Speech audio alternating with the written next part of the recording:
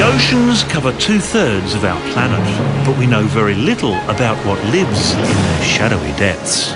To see what creatures lurk in the deep waters off Australia, scientists from the Queensland Brain Institute headed to Osprey Reef, 350 kilometres northeast of Cairns.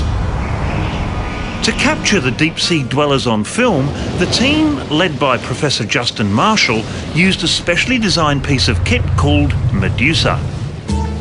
Hoping a free feed would entice the critters, they lashed a fish head to a bar in the camera's foreground.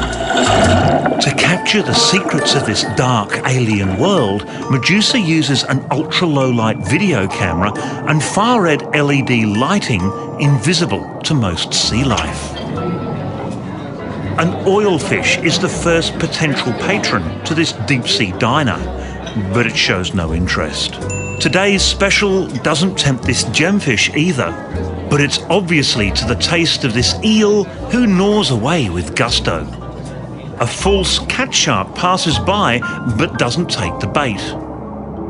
This rarely seen six gill shark seems famished as it ferociously tries to free its dinner. Six gills have never been filmed at these depths before. The hungriest customers are these Humboldt squid, who were filmed on a separate expedition to the Peru-Chile Trench.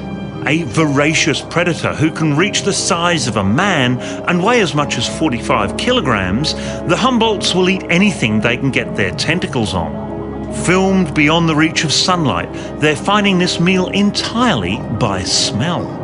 The team is the first to film this behaviour at this depth without the squid seeing the camera. So when it comes to finding dinner in the dark, Humboldts are right on the nose.